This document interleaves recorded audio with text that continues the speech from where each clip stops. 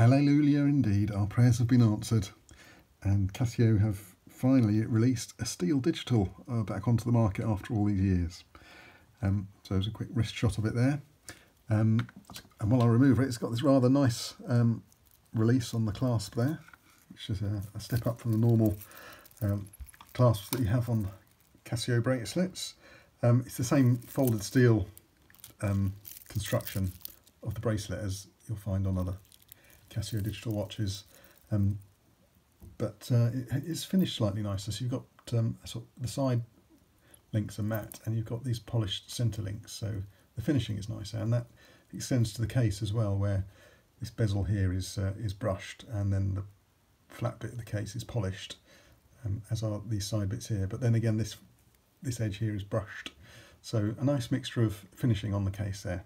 I've gone the extra mile. Um, and also, amazingly, it's got quick release spring bars. That's the first time I've seen those on a Casio. Wish more watches had that. So some nice attention to detail where um, people who like watches appreciate it.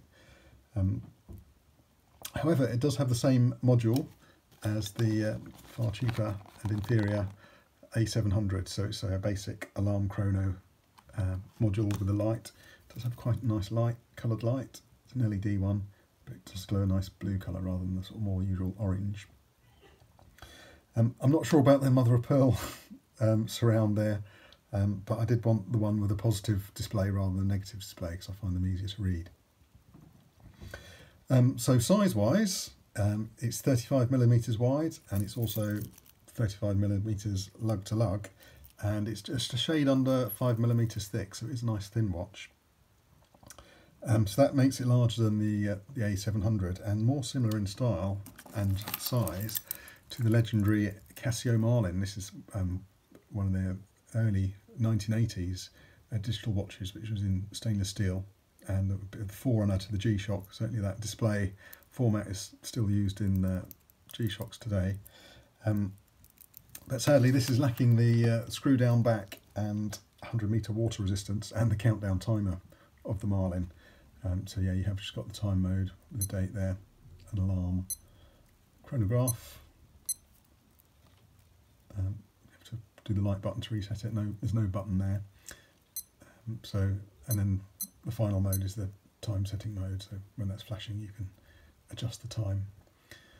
Um, and you do that by, um, oops, just do that again. You do that by using the light button to change which bit of you want to set and then you press this button to adjust the value and just press that to go back to normal time mode.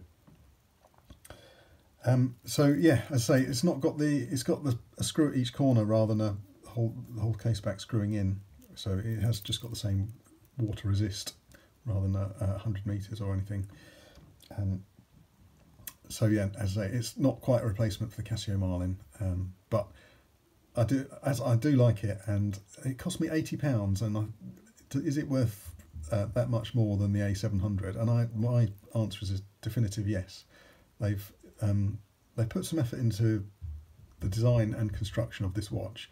Obviously, it's still built down to a price, um, but you know it's these little features like the you know the case finishing, the uh, the quick release spring bars, a very nice touch indeed and uh, and also the box is a big step up from the usual. I mean, that's your usual uh, Casio cardboard box. Um, and I don't normally do unboxing videos. Um, I'm not about to do one here, but this is the box from uh, for this uh, A1000. And um, inside the box, you've got nice um, sort of gold, sort of metallic gold covered in a bit with a nice little leather pouch for the watch. And then you've got your, your manual and there's my spare links that I've taken out of the bracelet. So yeah, they've added a bit of, uh, the boxing a little bit upmarket there. And um, so that makes a nice change to your usual uh, Casio vintage line of digitals. So yes, um, Casio very much to be applauded for this watch.